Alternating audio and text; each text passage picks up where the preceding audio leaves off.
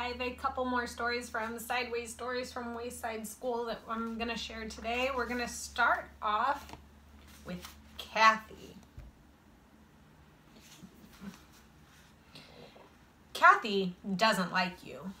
She doesn't know you, but she still doesn't like you. She thinks you're stupid. In fact, she thinks you are the stupidest person that she doesn't know. What do you think of that? She also thinks you're ugly.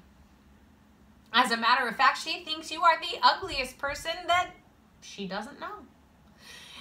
And she doesn't know a lot of people. She doesn't like the people she knows either. She hates everybody in Miss Jewls's class. She did like one member of the class. She liked Sammy. Remember him? She thought he was funny. Sammy was a dead rat. But Kathy has good reasons for not liking any of the children she knows. She doesn't like DJ because he smiles too much. She doesn't like John because he can't stand on his head. Kathy once had a cat named Skunks. She liked Skunks, but she was afraid that Skunks would run away.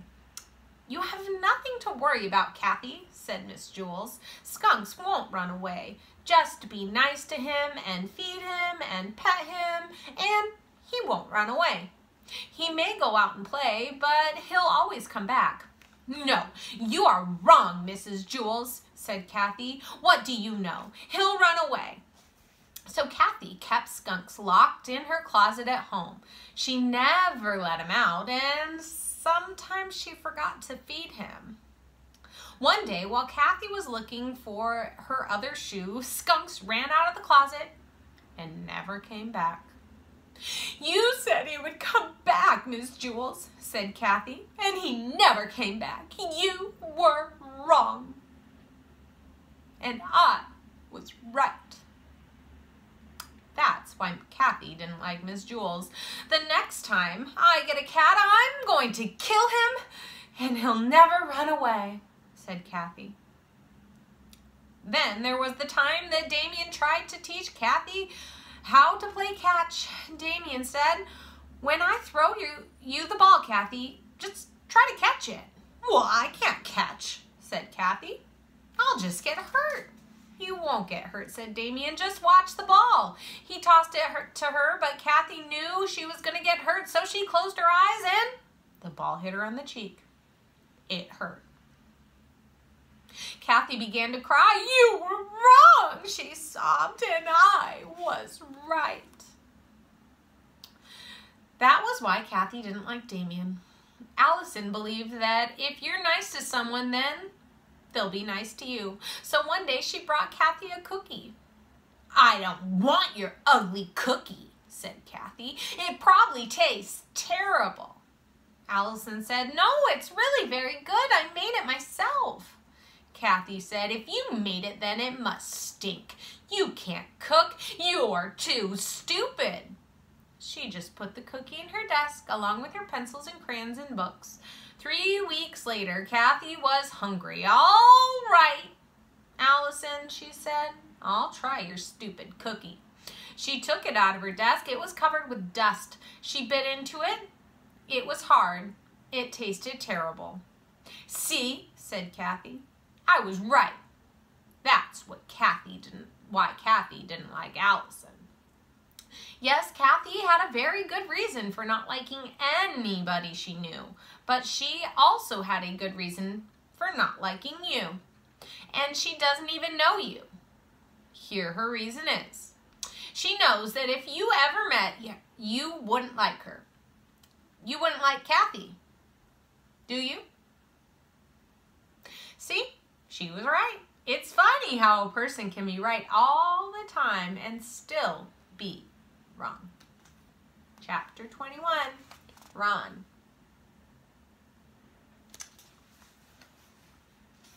Ron had curly hair and a little and little feet. I want to play kickball, he said. You can't play, said Terrence. Get out of here, said Deedee. Scram, said Jason.